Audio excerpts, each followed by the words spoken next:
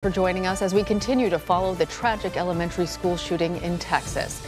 Here are the top headlines right now. Details are beginning to emerge about how the shooting at Robb Elementary School unfolded.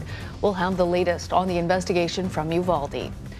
The community is grieving the death of 21 people in Tuesday's shooting. What we're learning about the 19 children and the two teachers who were killed.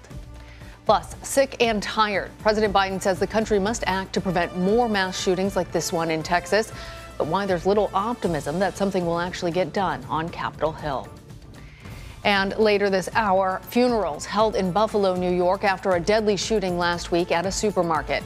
How the community is remembering the store's security guard who tried to protect shoppers.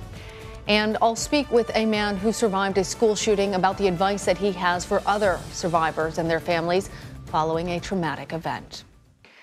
But first, as we mentioned, 19 children and two teachers were killed Tuesday after a gunman opened fire at an elementary school in Uvalde, Texas. Officials say the 18 year old shooter exchanged fire with police officers when he arrived at the school, but they were unable.